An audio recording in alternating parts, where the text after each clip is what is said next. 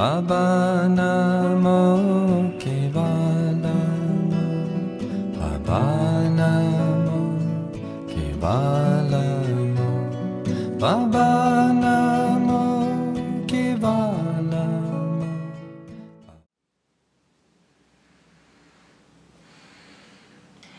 Намаскар. А, Мы продолжаем а, знакомить вас с асанами. И сегодня я покажу, как выполняется поза кобры Буджангасана. Вот существует такая категоризация асан, то есть есть асана с прогибом назад, с наклоном вперед, асана стоя, асана, где позвоночник скручивается.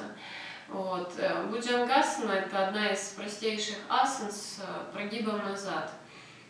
Вот. И есть такая э, характеристика, особенность у этих асан, особенный эффект, это то, что э, прогибы назад э, поддерживают, как можно дольше поддерживают молодость, гибкость и силу э, нашего позвоночника. Вот, поэтому ну, вот есть такие рекомендации делать э, асаны с прогибом назад регулярно. Вот. И Буджангасана, как я уже сказала, это одна из самых простейших асан, а, и поэтому рекомендуется начинать а, подготавливать позвоночник к более сложным асанам вот, с помощью позы кобры. Вот, как она выполняется, давайте посмотрим. Мы ложимся на живот, ноги соединяем вместе и подъем стоп на пол. Ладони возле головы, чуть дальше. На вдохе мы поднимаем голову вверх, плечи сначала и грудную клетку, грудная клетка на полу. И затем мы ладонями начинаем отталкиваться от пола, поднимаем грудную клетку вверх и верхнюю часть живота взгляд вверх, и вот здесь зафиксировали положение и задержали дыхание. И затем на выдохе мы опускаемся вниз. Вот, это, в общем-то, вся поза кобры. Вот, и делается на 8 раз. То есть на вдохе мы поднимаемся вверх, фиксируем положение, задерживаем дыхание на 8 секунд. А, после задержки дыхания на выдохе опускаемся вниз и расслабились. 8 раз повторяем, и поза кобра у нас выполнена. Вот, э, давайте по технике пройдемся, потому что, несмотря на простоту, часто много ошибок совершают Э, новенькие, кто начинает только с ней знакомиться. Вот, давайте рассмотрим эти моменты. Э, здесь ноги, да? Ноги вместе. Вот, ноги вместе. Но э, иногда, когда асана начинает практиковаться, вы можете почувствовать, что в пояснице дискомфорт очень сильный. И вы можете попробовать развести ноги э, пошире вот, и сделать с разведенными ногами э, эту асану. Если вам будет так проще, начинайте ее делать с разведенными ногами. А затем, когда вы подготовите, то есть э, поясница будет готова к такой нагрузке, Тогда уже соединяйте ноги вместе, делайте с соединенными ногами. Второе. Руки мы ложим так, чтобы кладем так, чтобы пальцы были направлены вперед. Вот и э, так на таком уровне, чтобы нам было удобно упираться в пол и поднимать себя руками. Вот. Важный момент, что э, положение это держится и удерживается за счет ладони. То есть, когда мы поднимаемся, вес у нас э, в ладошках. Мы не напрягаем спину, мы не напрягаем мышцы спины. Руки у нас используются как рычаг. Угу.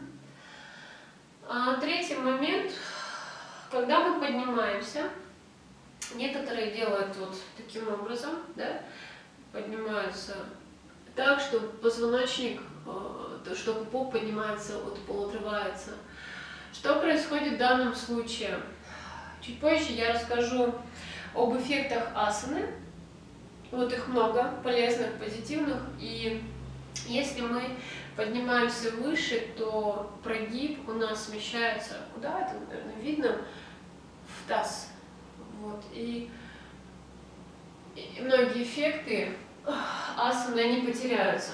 Поэтому, когда вы поднимаетесь вверх, следите за тем, чтобы пупок вот чуть-чуть начинает отрываться от пола, и мы фиксируем это положение. Следующий момент – плечи. Часто делают асану, зажимают, то есть плечи тянутся к ушам, и мы зажимаем грудную клетку и плечевой пояс. Здесь нужно сделать такое движение. Плечи вниз, освободили шею от плеч,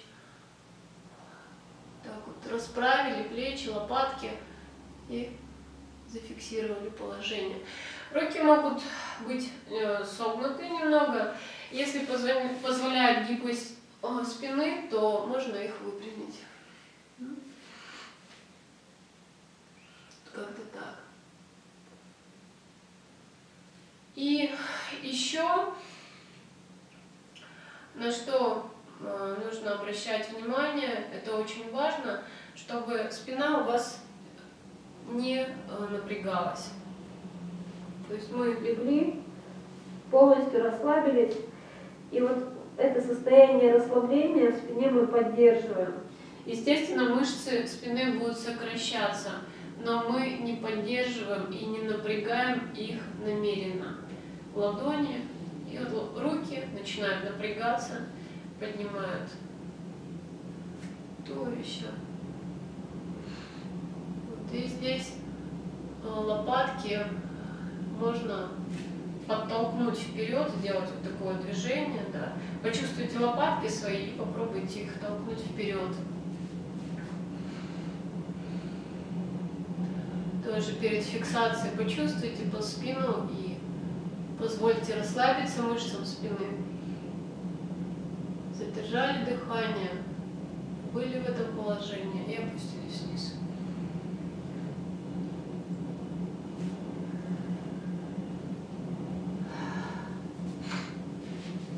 Наверное, покажу еще вот и так, вперед. То мы легли, положили подъем стоп, вверх, вот такое положение может быть, возможно, вы плечи вниз, расправьте лопатки, плечи.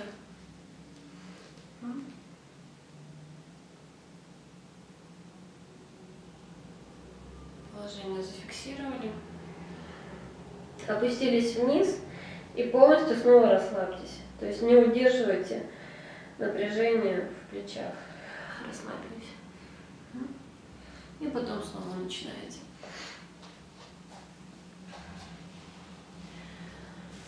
Еще есть такое, такая тенденция э, делать эту асану так, то есть э, тянуться э, губами, подбородком, рот открывать. Держите рот закрытым и э, лицо расслаблено. Вот такая поза. А, что касается противопоказаний, в целом их нет. Противопоказания, как всегда, это месячные, это беременность после третьего месяца и какие-то острые боли в спине. То есть если э, вы заболевания в позвоночнике, нужно какие-то заболевания, а, асана дает облегчение в них. Вот. Но вы почувствуете, то есть э, если у вас болит спина, и вы если делаете кобру, э, если вам хуже, то не делайте ее, э, нужно восстановить позвоночник, и затем уже либо другими асанами, либо какой-то терапией, вот, и затем уже делать прогибы, прогибы назад. Полезные эффекты асаны. Вот, я надеюсь, вы знаете, что э, многие асаны, они обладают терапевтическим эффектом, то есть они способствуют выздоровлению многих органов э, и э, заболеваний. Вот, что можно подтянуть, оздоровить с помощью буджангасаны. Это почки. Прежде всего, почки такая труднодоступная часть в нашем теле. И вот за счет э, прогиба в буджангасане они начинают сдавливаться, сдавливаются, растягиваются. Вот, и таким образом обеспечивается массаж, э, усиливается циркуляция крови и происходит улучшение функционирования этих органов.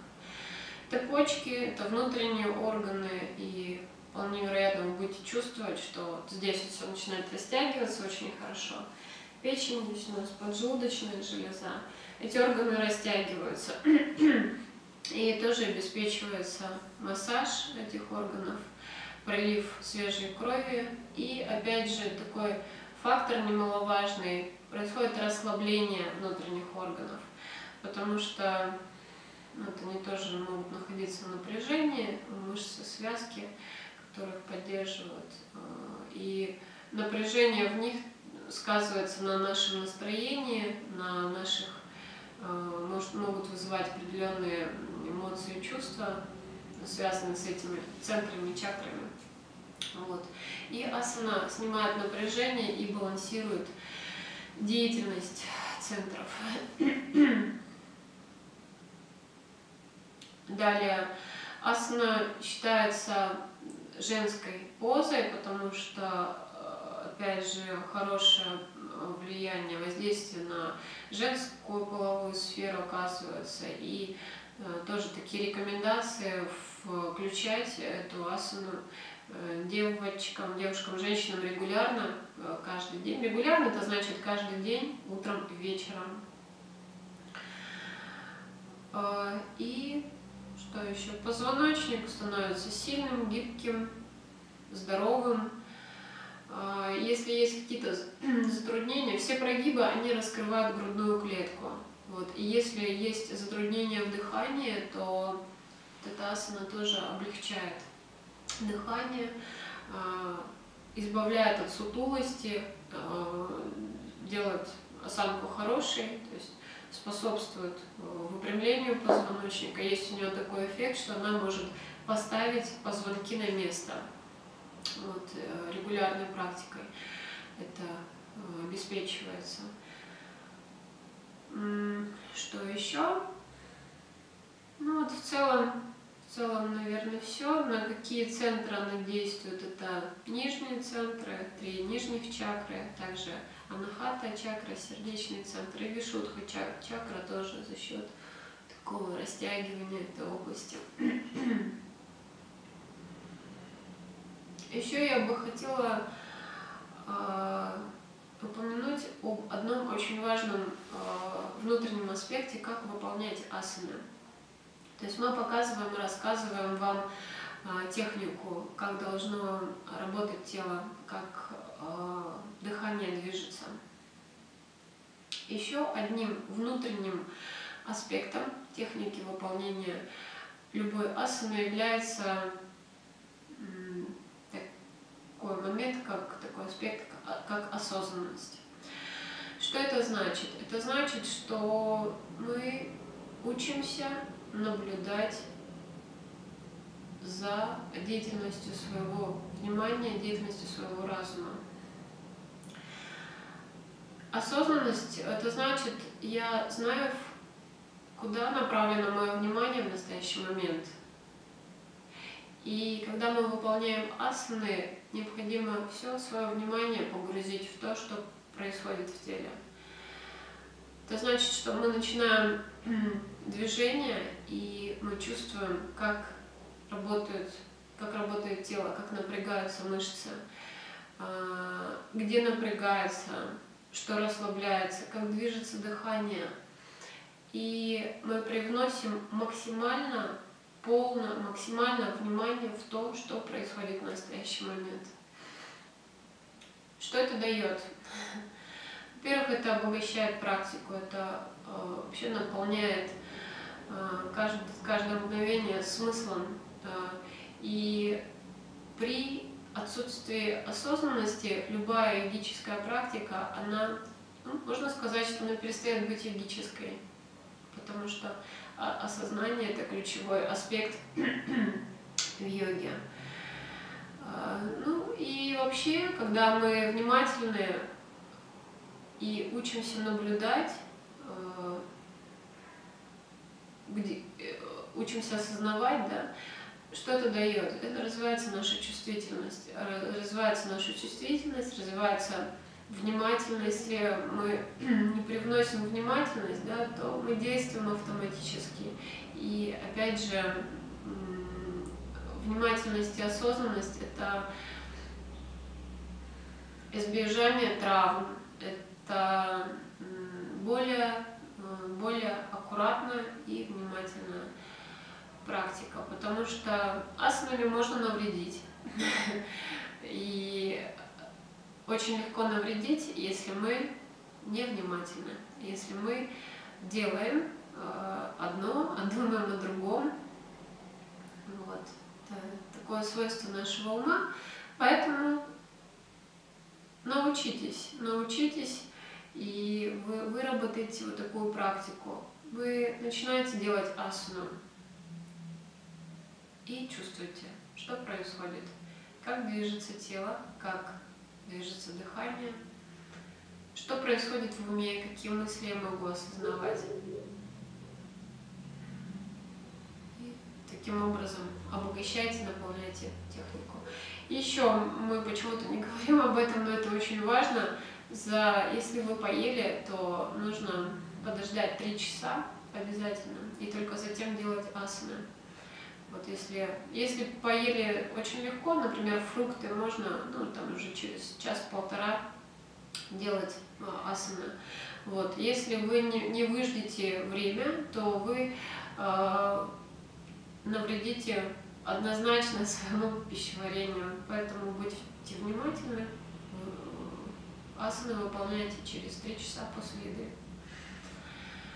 По поводу кобры, э, регулярная практика подразумевает э, выполнение асаны ежедневно и утром и вечером. То есть желательно два раза, два раза, утром и вечером. Если вы вот, услышали да, показания, если вы чувствуете, что а, эта асана может вам помочь, то делайте ее, практикуйте получаете пользу.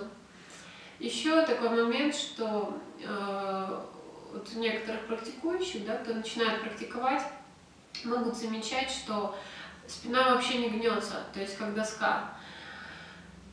Э, ничего страшного, не обращайте на это внимание, то есть не, скажем так, не э, переживайте по этому поводу, начинайте практиковать асаны, постепенно у вас разработается позвоночник, и он будет, э, будет появляться гибкость. Вот самое главное, практикуйте регулярно. Всего намаскар, хорошего вам практики. И еще одно дополнение рекомендуется для гармоничной э, практики асан.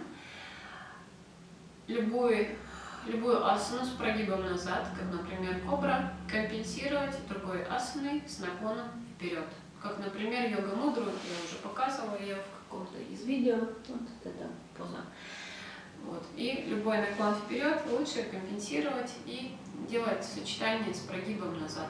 Вот. Обратите внимание на, и когда будете строить последовательность асан дома, обратите внимание на это. Если сделали прогиб, сделали наклон вперед. Если сделали наклон вперед, сделали прогиб назад.